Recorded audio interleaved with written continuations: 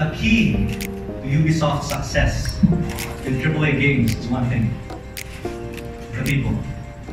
The people who work on those games. And I realized Filipinos are very creative.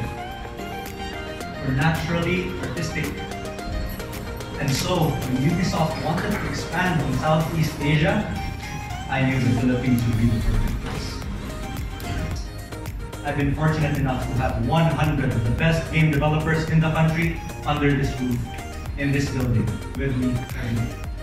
We have 2,000 square meters, 17 meeting rooms, six breakout spaces, three full floors, each floor with its own dedicated pantry, and each pantry with the most important piece of equipment in any office,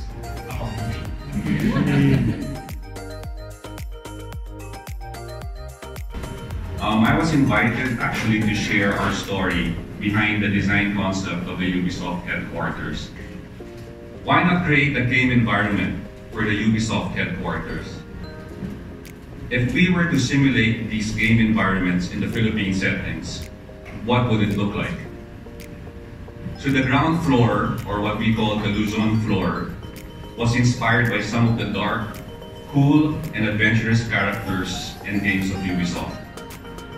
Here, we imagine Assassin's Creed or Ghost Recon in old Intramuros or underground Manila, where bricks and cements were used. Instead of having an interview room, why not build an interrogation room inside a container van? The second floor, or what we call the Visayas floor, was inspired by the fun and colorful characters of Ubisoft. Here, we imagine the Rabbids running around our famed beaches, or maybe Rayman rushing down the Ubisoft slide.